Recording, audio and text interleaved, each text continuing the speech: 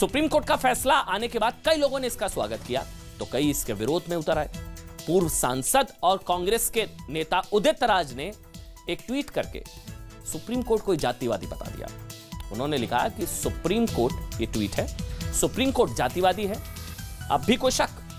EWS आरक्षण की बात आई तो कैसे पलटी मारी? कि 50 प्रतिशत की संवैधानिक सीमा बाध्यता नहीं लेकिन जब दलितों और पिछड़ों को आरक्षण की बात आती है तो इंदिरा साहनी मामले में लगी 1992 इंदिरा साहनी मामले में लगी 50 प्रतिशत सीमा का हवाला दिया जाता है। इसके अलावा भी जो अच्छा ये उदित राज का ट्वीट, हालाँकि कांग्रेस पार्टी के लाइन से अलग है, कांग्रेस पार्टी कह रही है तो हम लाना चाह रहे थे, हमारी मैनिफेस्टो में था, हमने इसमें आयोग भी बना दिया था।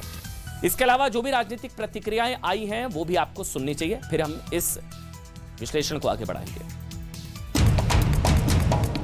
S C S T O B C का मैटर आता है तो सुप्रीम कोर्ट कुछ और हो जाता है। जब सवर्णों का मैटर आ जाता है तो सुप्रीम कोर्ट और हो जाता है। उस मानसिकता का मैं मानसिकता के ऊपर सवाल कर रहा हूँ। जवाब सुप्रीम कोर्ट को देना चाहिए। आर्थिक पिछड़ापन रिजर्वेशन या आरक्षण का आधार हो सके, इसको कबूलियत मिल गई है। सुप्रीम कोर्ट कास्टिस्ट है या जातिवाद की ओर बढ़ रहा है। मैं मैं समझता हूँ ये उचित नहीं है। मोदी सरकार की जो नीति है अगर उसको देखा जाए तो सरकारी नौकरियाँ तो धीरे धीरे समाप्त हो रही हैं।